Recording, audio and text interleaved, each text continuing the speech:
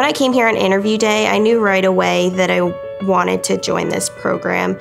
I could just tell that the residents were having fun, that they were learning, and that the leadership was honest and supportive. Really, depending on what you want to do, um, you can really tailor your education and your training to what your next step is. There's a research track, there's a health system science track, there's an educator track a hospitalist track. It's really all about you and what you want to learn and how you want to excel. And everyone in this program is just here to help you get there.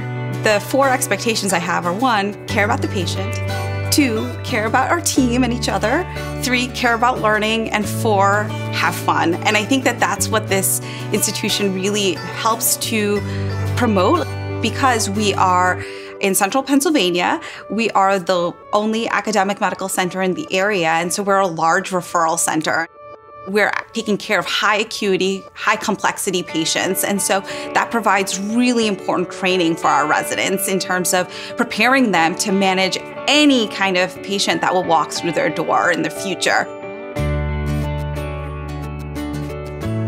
Our academic half day, once a week, we have no clinical responsibilities. Even when we're in the hospital, we give our pagers to our supervising physicians, and we really just get a break to learn. And that way, ultimately, we take good care of our patients. This program is going places in a very big way.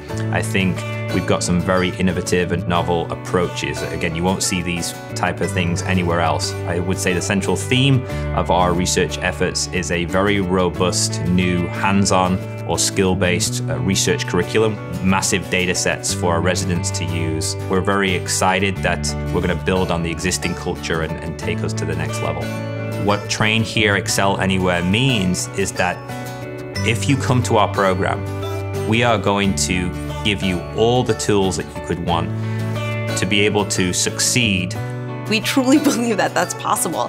That if you train here in our internal medicine residency program, that you'll be able to excel anywhere and do anything that's in line with what you want for your future.